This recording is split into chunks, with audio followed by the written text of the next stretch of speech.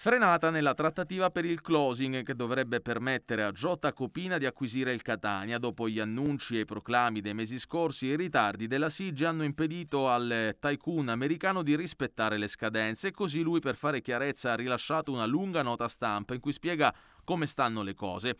Aveva scelto il silenzio per permettere a Sigi di lavorare senza pressione, ma adesso Tacopina ricorda i passaggi della vicenda.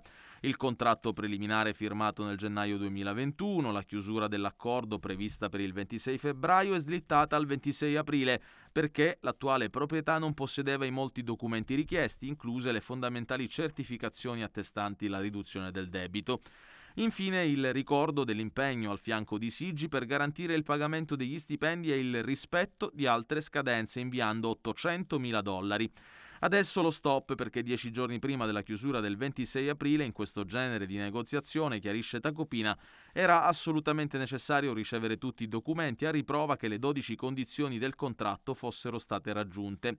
Solo email informali e nulla di più, tutto rinviato a fine campionato, quando si saprà anche se il Catania di Francesco Baldini, allenatore scelto da Tacopina, giocherà in Serie C o in Serie B.